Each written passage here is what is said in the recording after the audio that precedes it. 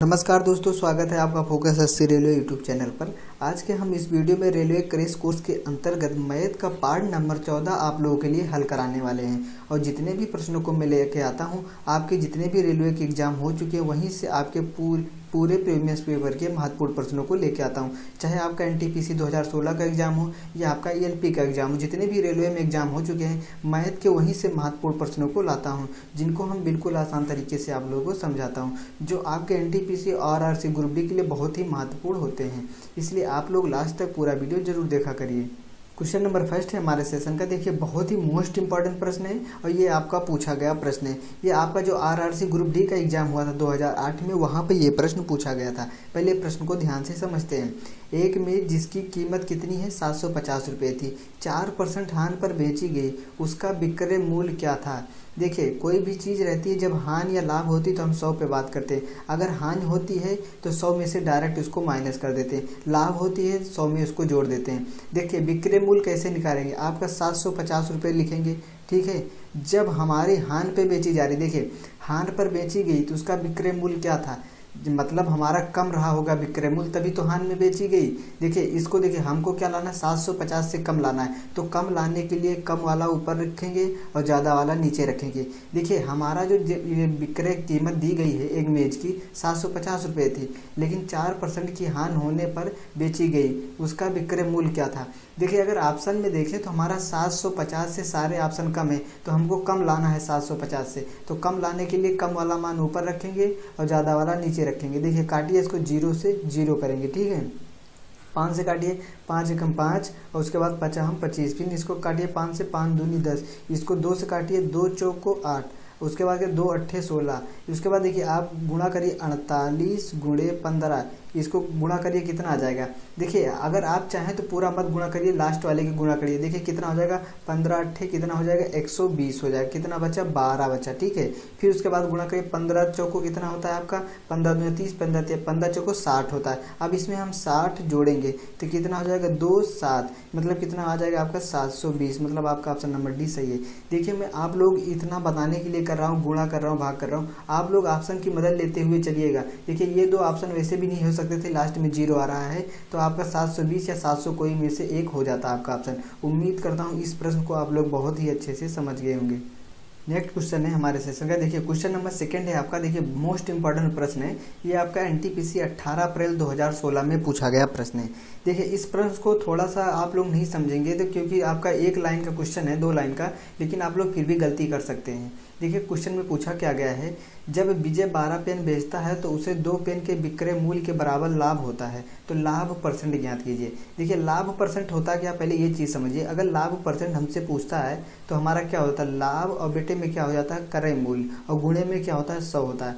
देखिए, अगर ये सब फार्मूला भी पता है तो आप लोग आसानी से निकाल सकते हैं। देखें तो हमारा यहाँ पे लाभ नहीं पता है, ना तो हमका क्रय मूल्य पता है। तो क्रय मूल्य पता करने के लिए कैसे करेंगे? आपका जो क्रय मूल्य हो जाएगा, कैसे हो जाएगा? ये जो बारह पेन का बेचता है, दो पेन के विक्रय मूल्य के बराबर होता है तो हम इसी बारह में से दो माइनस करेंगे तो कितना हो जाएगा? बारह में से दो माइनस करेंगे, दस। मतलब आपका क्रय मूल्य आ गया। देखिए, विक्रय मूल्य बारह है, और आपका क्रय मूल्य कितना है? दस है। अब देखिए, निकालिए इसको। हमारा लाभ परसेंट हो जाएगा देखिए, लाभ निकालने के लिए कैसे करते हैं? आपका जो लाभ निकालते हैं, लाभ निकालने के लिए हम करते हैं विक्रय मूल्य। आपका जो होता है विक्रय मूल्य माइनस क्रय मूल्य। तो आपका विक्रय मूल्य कितना है? बारह है, क्रय मूल्य कितना आ गया? दस है। तो ये कितना आ जाएगा? आपका लाभ बराबर आ जाएगा दो। आप फार्मूले पर रखते हैं, लाभ परसेंट बराबर। लाभ कितना आ गया आपका? दो आ गया। क्रय मूल्य कितना है? सीपी आपका कितना है? दस है। ठीक है, गुणे कितना है? सौ है। इसको काटेंगे दस धाम में सौ हो जाएगा। दस गुणे दो करेंगे, कितना हो जाएगा? आपका दो गुणे दस करेंगे, कितना आ जाएगा? बीस परसेंट। मतलब आपका कौन सा ऑप्शन है? आपका ऑप्शन नंबर बी सही है। नेक्स्ट क्वेश्चन है हमारे सेशन का। देखिए क्वेश्चन नंबर थर्ड है आपका। बहुत ही मोस्ट इंपॉर्टेंट प्रश्न है। देखिए, इस टाइप के प्रश्न को कैसे हल करेंगे? देखिए, सेकंडों में हल करना बताऊँगा। पहले आप लोग प्रश्न को ध्यान से समझते हैं। क्वेश्चन नंबर थर्ड है आपका पी और क्यू के मासिक वेतन का अनुपात दिया गया चार रेशियो थ्री है। यदि पी और क्यू के वर्तमान में क्रमशः दस परसेंट तथा पाँच परसेंट की वृद्धि हुई हो तो नया अनुपात क्या होगा? देखिए, कैसे पता करेंगे? पहले इस चीज़ को समझते हैं। जो हमारा पी है, इसमें हमारा कितने की वृद्धि हो रही है? सौ पे कितने की वृद्धि हो रही है इसमें? इसमें दस परसेंट कितना हो जा रहा है? एक सौ दस हो रहा है। और जो हमारा क्यू है, देखिए क्यू में कितना हो रहा है? इसमें आपका क्या हो रहा है? दस परसेंट की वृद्धि होकर कितना हो जा रहा है? एक सौ पाँच हो जा रहा है। अब देखिए, कुछ नहीं करना, बहुत सिंपल सा तरीका है। आप लिखिए चार गुड़े एक सौ दस पी में कितना हो रहा है? दस परसेंट के बीच। और बेटे में सौ। ठीक है? अनुपात है क्योंकि हमसे अनुपात पूछा है। उसके बाद आपका क्या दिया गया? है तीन दिया गया है। तीन गुड़े आपका कितना है? 105 बेटे में 100 अब इसी को हल कर लीजिए, आपका आंसर आ जाएगा। देखिए, ज़ीरो से ज़ीरो काटेंगे, ठीक है? ज़ीरो से ज़ीरो काटेंगे और उसके बाद देखिए, हमारा इसको काटिए, दो दूनी चार हो जाएगा, दो पंचे दस हो जाएगा।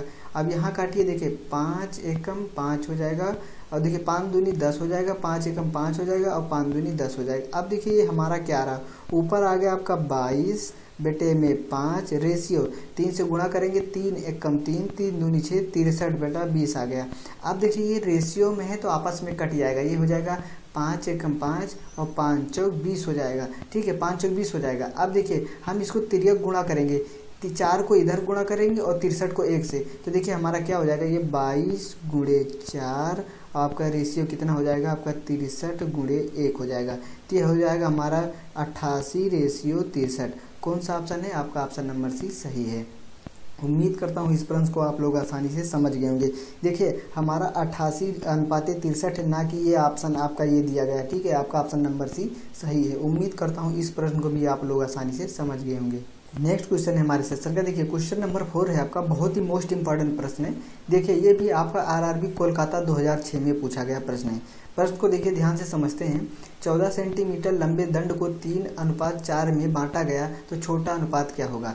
देखिए, आपका ये दिया गया अनुपात दिया गया तीन रेशियो चार। इसी को हमारा क्या, चौदह जो सेंटीमीटर दिया गया, इसी में बांटा गया है, इसको तीन अनुपात चार के रूप में।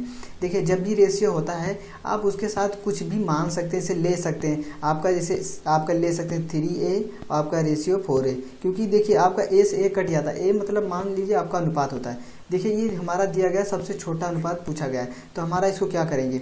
इसको जो बांटा गया है, इसी को चौदह को जो है, हमारा तीन रेशियो चार के अनुपात में बांटा गया है। तो पहले हम इसको जोड़ लेते हैं। आपका थ्री ए प्लस आपका फोर ए बराबर कितना है सात है। तो हमारा ये सेवन ए बराबर क्या हो जाएगा आपका? सात के हो जाएगा। ठीक है सेवन ए बराबर कितना हो जाएगा? चौदह के हो, हो जाएगा। आप लोग यहाँ पे चौदह कर लीजिए सेवन ए बराबर चौदह के हो जाएगा। तो हमारा ए बराबर आ जाएगा चौदह बेटे में सात। इसको भाग करेंगे सात दूनी चौदह। एक मान कितना आ गया? दो आ गया। तो हमसे क्या पूछा गया? देखिए एक मान जब दो आ गया तो हमसे पूछा क्या गया? छोटा अनुपात। छोटा रेशियो कौन सा है? आपका तीन है। तो इसी तीन को हम गुणा कर देंगे दो में। तीन गुणे दो करेंगे कितना हो जाएगा? छः मतलब आपका ऑप्शन नंबर बी सही है। छः सेंटीमीटर होगा। उम्मीद करता हूँ इस प्रश्न को भी आप लोग आसानी से समझ गए होंगे। दोस्तों, आप लोगों के लिए ये रहा होमवर्क का क्वेश्चन आप लोग इसका कमेंट में आंसर ज़रूर बताइएगा। ठीक है? और जिनको नहीं पता, यहाँ आई बटन पे क्लिक करके देख सकते हैं। और दोस्तों, आप लोग लिए जितना भी मैं मैथ और रीजनिंग के लाता हूँ क्लासेस सारे आपके जो रेलवे के एग्ज़ाम हो चुके हैं, वहीं से प्रीवियस पेपर में पूछे हुए प्रश्नों को लाता हूँ। इसलिए आप चैनल पर नए हैं तो ज़रूर सब्सक्राइब करिएगा। और दोस्तों, इसी तरह से मैंने आप लोगों के लिए साइंस और रीजनिंग एडवांस मैथ के लिए रेलवे में जितने क्वेश्चन पूछे गए थे, सारे कराए हुए हैं, जिनका डिस्क्रिप्शन में लिंक दिया गया है, आप लोग वहाँ से जाके देख सकते हैं। चलिए दोस्तों, फिर मिलेंगे महत्वपूर्ण क्लास के साथ, तब तक के लिए दोस्तों